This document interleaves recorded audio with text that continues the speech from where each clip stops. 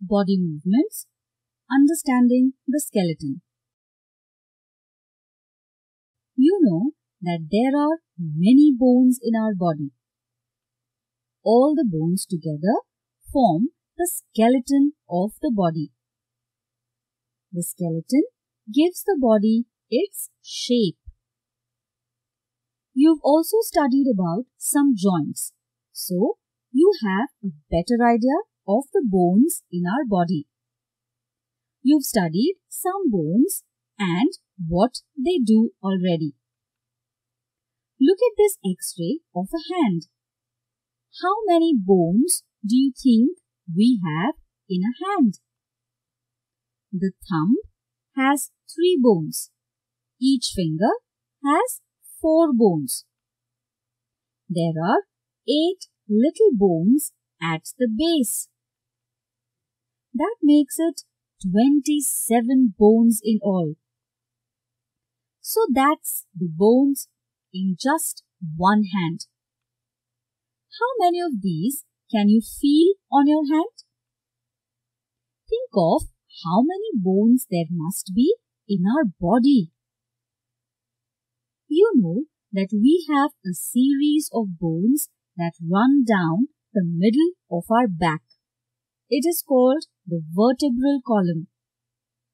The vertebral column starts from the base of the neck. It goes all the way up to the hip. There are many connected bones in the vertebral column. Let us see what they are. C1 to C7 are the first series called cervical bones. Then are 12 thoracic bones named T1 to T12. We then have lumbar bones named L1 to L5. Then come the sacrum bones. And finally, the coccyx bones. So, how many bones are there in the vertebral column? Count and see. There are 33 bones. There are so many joints in the vertebral column and that's why we can bend our back. So, now when doctors talk about the bones of the vertebral column, you'll know what they mean. That's so cool. You know that there is a cage of bones in the chest that protects the lungs, heart and stomach. This is called the rib cage. It has 12 pairs of bent ribs. That makes 24 bones right there. This is called the rib cage. There is also the flat central bone called the breastbone. On the front side, you can see that the ribs are connected to the breastbone. On the back side, you can see that the ribs are connected to the vertebrae.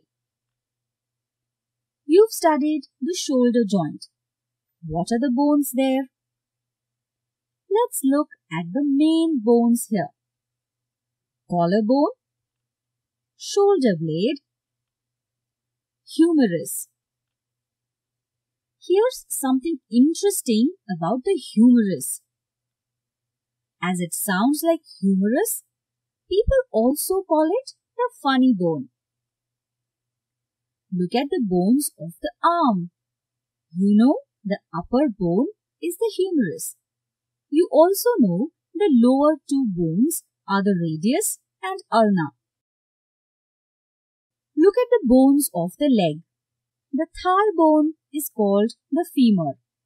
The femur is the longest and strongest bone in the body. The kneecap is called the patella. The tibia and fibula are in the calf. The human foot has 26 bones. The pelvis has three bones which are joined together. The yellow and blue parts are part of the vertebral column. The pink part is the pelvis. The skull has many bones in it too. There are fixed joints in the skull. So, you know a lot of the bones in our skeleton. An adult human has 206 bones in all. So, it's a lot of bones, isn't it? What did we just learn? The skeleton is the framework that gives shape to our body. The skeleton is made up of the skull, backbone, ribs, breastbone, shoulder, hip bones and bones of the hands and legs. What did we just learn? The bones and joints make us strong and mobile. Many bones of our body protect the delicate internal organs like the brain, stomach, eyes, heart, lungs, etc.